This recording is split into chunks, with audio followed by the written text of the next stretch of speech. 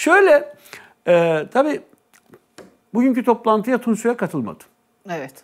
Çok dikkat Tunçsoy'a çekiciydi. sordum, yakınlarına sordum. Tunçsoy'a e, acaba bir acil bir işi mi vardı? Yok İzmir'deymiş. Yani öyle belki belediyenin gündelik işleri ama gitmeyi tercih etmemiş. Yani yakın çevresine gitmek istemediğini söylemiş galiba. Yani içim, içime sinmedi herhalde. Böyle bir cümle e, kullandığını duydum.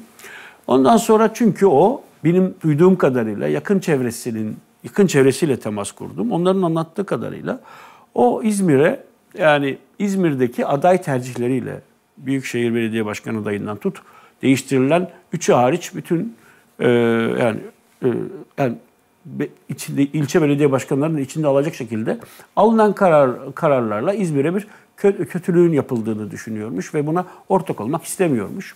Dolayısıyla